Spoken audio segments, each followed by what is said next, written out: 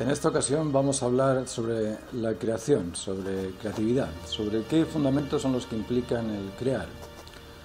Crear es una palabra que implica dos aspectos fundamentales. Uno es el de originar algo y el otro es el de transformar algo.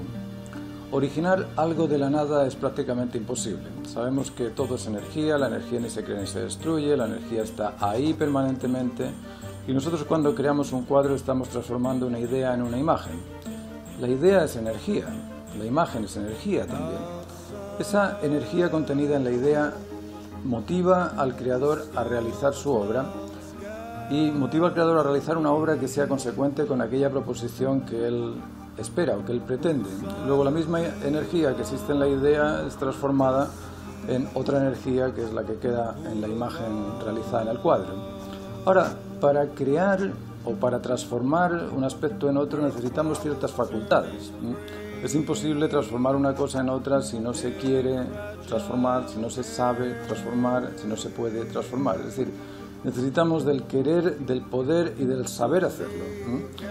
Esas facultades del querer, poder y saber hacerlo implican ciertas eh, premisas que hay que eh, sostener, porque si el querer no tiene un límite, o si el poder no tiene un límite, o si el saber no tiene un límite, es extrema. Entonces hay algo que debe de contener o delimitar ese saber, ese querer y ese poder. A ese algo lo llamamos capacidades, capacidades sensibles, capacidades intelectuales, capacidades motivacionales. Ahora, esas capacidades están orientadas o están supeditadas por otra capacidad eh, primaria que es la que la sostiene y esa capacidad es la libertad. Si no tenemos libertad no podemos crear. Nosotros somos los únicos que creamos cosas eh, o que transformamos cosas en otras cosas distintas. Una lavadora no crea lavadoras. Eh. Nosotros podemos transformar con ladrillos un espacio y crear una casa, crear un proyecto inmobiliario, una mega construcción. Todo eso lo podemos hacer porque tenemos libertad. ¿Y qué es libertad?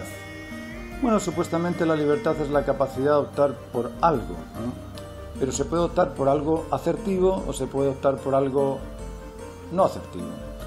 Luego la libertad en el fondo tiene esa, posibilidad de servirnos para realizar algo válido o servirnos para realizar algo no válido. En el arte, lógicamente, tenemos que buscar aquellas opciones que nos eh, permiten realizar algo válido. Realizamos algo válido mediante el servicio de nuestros cinco sentidos. Sin los cinco sentidos, sin la vista, sin el tacto, sin el olfato, el gusto, eh, el, oído, sería imposible poder transformar una cosa en otra. Nosotros al crear, lógicamente buscamos elementos de valor para que sean considerados admirables o sean considerados artísticos. Dentro de esos elementos de valor tenemos que ir pensando en los valores que de los que hablamos en el vídeo anterior, los valores temático, compositivo, gráfico, tonal, etc. Pero la creación en sí implica dentro de su proceso ciertos aspectos. Para poder crear necesito un propósito, necesito una pretensión, necesito querer hacer algo. Ese querer hacer algo ya es una pretensión en sí. Ahora esa pretensión no se realiza por sí sola, necesita de un sujeto que la pueda realizar. Es decir, necesitamos por un lado eh, posiciones y por otro lado una estructura de consecución que nos permita hacer que esas posiciones eh, se lleven a cabo, se manifiesten. So, tenemos por un lado las posiciones de causa y consecuencia, las posiciones de pretensión y, o de preposición y consecuencia, y tenemos también las otras posiciones de activo, creativo y de objeto retributivo.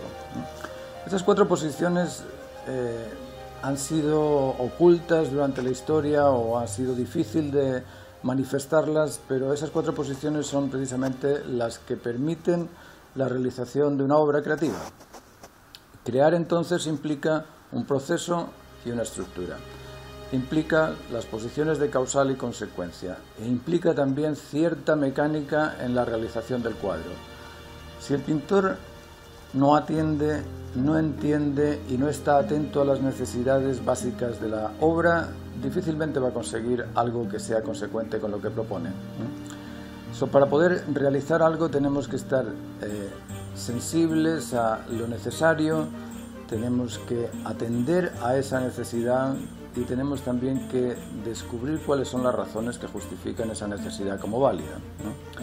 La creación en cierto aspecto es una especie de sistema que nos permite transformar una cosa en otra. Pero si no conocemos ese sistema es muy fácil no crear o crear cosas que no nos sirven. Si no disponemos de las facultades eh, sensibles, cognitivas, eh, motivacionales, difícilmente lo vamos a llevar a cabo. Pero si no tenemos aquel sensor que nos eh, limite esas capacidades, es decir, aquella prudencia que nos permita optar por lo que es válido, aquella firmeza que nos permita terminar aquello que pretendemos y aquella templanza también frente a los eh, aspectos distintos que pueden surgir en la creación de la obra. Nosotros cuando pintamos es lógico pensar que en la primera caja que hacemos para dibujar una forma la caja no tenga las proporciones. Ahí necesitamos de la templanza suficiente como para ajustar nuestra atención a esa necesidad de corregir las cajas. ¿eh? Necesitamos también de la disciplina del trabajo para poder terminar aquello que empezamos. Y por sobre todas las cosas necesitamos que eso que estamos pretendiendo lo hayamos eh, de alguna forma evaluado y determinado válido.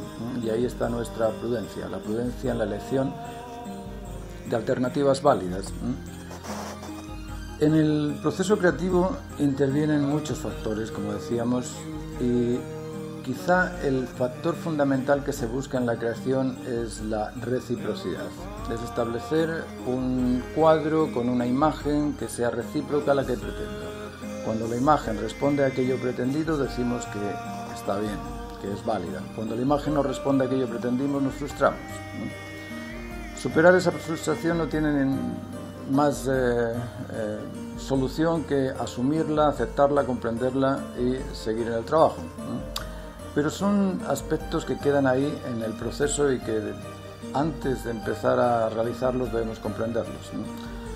Yo llevo mucho tiempo dando clases y en ese dar clases me he encontrado con alumnos que tienen esa capacidad de tolerar, de tolerar frustraciones, que tienen esa habilidad de orientar su trabajo en aquellas eh, proposiciones válidas, eh, pero también hay alumnos que necesitan del apoyo eh, emocional, del apoyo intelectual para comprender cómo superar estas frustraciones o cómo lograr esa pretensión que quiere realizar.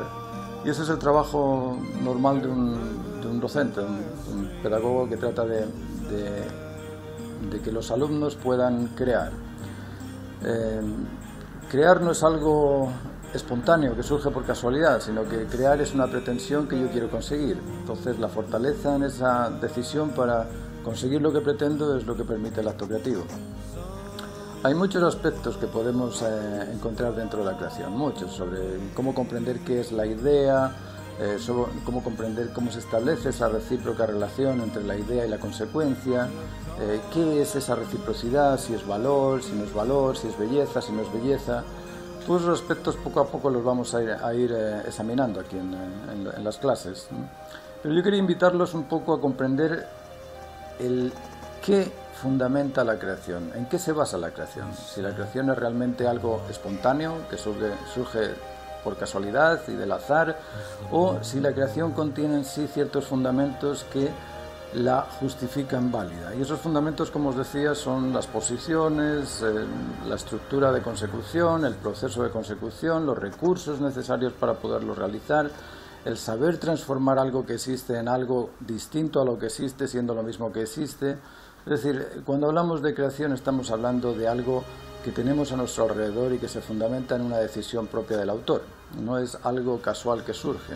Esa idea de no me salió el dibujo o no me salió la pintura, o no me salió la escultura. Bueno, si no te salió es que todavía no comprendes cómo crear esa pretensión que tú debías de crear. Y bueno, yo creo que con esto hemos hablado un poquito de la creación. Eh, yo les invito a seguir viendo estos vídeos y ir profundizando un poco más en los fundamentos de la creación.